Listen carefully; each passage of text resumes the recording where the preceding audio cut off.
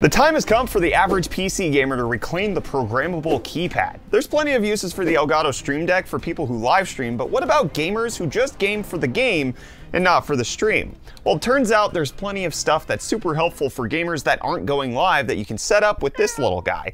And that's why today on UFD Tech, we're listing five Stream Deck plugins every PC gamer should be using. At its core, the Stream Deck is a productivity tool. It's marketed to streamers because it's an ideal device for live switching and controlling peripherals that add to the live stream experience. We use one here every day when we're live on Twitch, which got us wondering what else these things are good for. A quick Google search can show you a ton of results as to how you can use one of these to maximize your efficiency at work by tracking progress and keeping you off of 9gag when you should be in your Teams meeting. But here's the thing, nobody's talking about arguably the biggest crossover market with the streamers that are using the Stream Decks gamers. You shut up when I'm talking to you. But how would gamers use the Stream Deck? Can it play Fortnite for you? Well, maybe, actually, but the good old reliable keyboard and mouse or controller can pretty safely handle games themselves. You know what's awkward enough to need adjusting though? Alt-tabbing to adjust your PC's ecosystem while you're trying to enjoy your game. Gamers pretty much know how to do their thing, and messing too much with controls can be considered cheating in some games. But as a gamer, I hate being pulled out of my session to tinker with settings and windows when what I should be really doing is cranking sick 90s with my homies on Discord. First, we have the Audio Switcher plugin, which gives you dedicated buttons to toggle between audio devices. It makes it super easy to switch between your headset and speakers if that's something you're doing constantly. It's also especially handy for Discord too because it can be used to hot swap between outputs and inputs. So if you keep your Discord audio settings set to default, you can double check your hardware at the push of a button. And maybe then your dumb friends will stop complaining when your PC randomly decides to make your default input your webcam and you sound weird and they make fun of you. And then the next few minutes turn into everyone continuously yelling, what? Until you're able to go into your settings and remap your input device.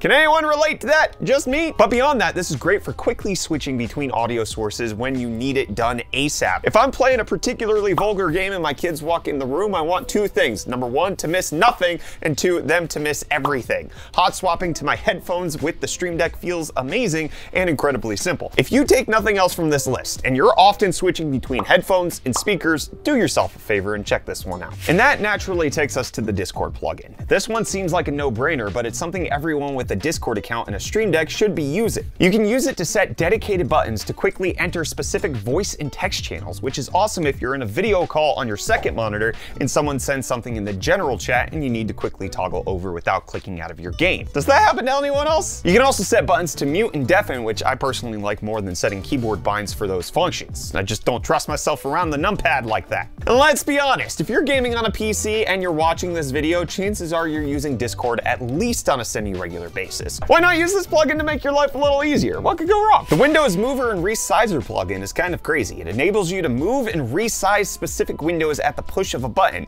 So for example, I like to play with my game on my left monitor and Chrome and Discord open on my right monitor, taking up the left and right halves of the screen respectively. Sometimes in between matches, those windows get a little jostled, and then I forget to adjust them back to their original positions for the next time I'm dropping into Fortnite. But with this plugin, I don't have to worry. I just press the button and balance is restored, and applications can have multiple resizes mapped to multiple buttons. So when paired with the Media Controller plugin, you can have ease of access for whatever video you're watching on the other monitor while you're zoning out and searching for Minecraft diamonds. But that's just how I'm using it. You can literally program this thing to adjust any window on your desktop to any predetermined size and location. You could use it to bring your calculator to the front of your screen, quest walkthroughs, work emails, if you're being a little rascal. The possibilities are really endless, and I'd love to see how you guys actually use this in the comments. Next up is the Super Macro plugin. So this one's got a lot of uses. At the simplest level, you can set it up for your Stream Deck keys to output specific messages to your multiplayer teammates. But you can also pretty much program this to do any combination of keystrokes and mouse inputs. You can even use it to customize your mouse's location. So if for some reason you wanted to set a single button that could theoretically, as quickly as possible, build you into a protective structure in Fortnite, you could. But macros can trigger the anti-cheat and that could get you banned, so maybe don't. We ended up using it to quickly navigate to different Fortnite game modes. The macro goes through the menu options at the press of a single button. We're confident that you'll be able to find a use for this, even if it's not technically related to your gameplay. And I'm betting if you're really into MMOs or MOBAs, you'll probably be able to get some serious use out of this one. Just be careful and don't let me catch you cheating. No one has ever done that. No one has ever done that in the history of Dota! And before we get into our final plugin, I just really wanted to show you how you can physically use your Stream Deck to actually play games. I don't know exactly why you'd want to do this, but it's completely possible to just use your Stream Deck in place of the left side of your keyboard when playing PC games.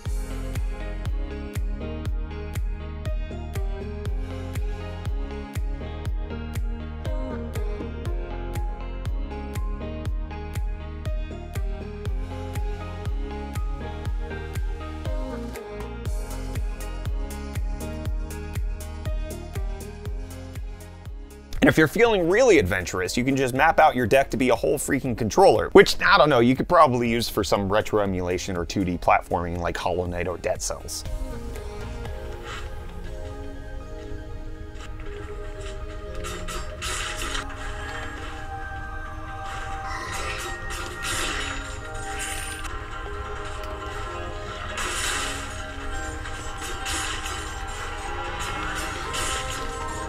But finally, we have the IFTTT plugin, and this one is huge. It stands for If This Then That, and it's essentially an integration with a website of the same name that uses webhooks, or messages sent to the internet from apps to control your smart home devices. Now, I know what you're thinking, but Brett, the Stream Deck already has integration with Nanoleaves, and that's true, but what it doesn't have is integration with over 700 apps, services, or devices that make or receive web requests. So using this service, there's a ton of options, like an overwhelming amount of options. Good.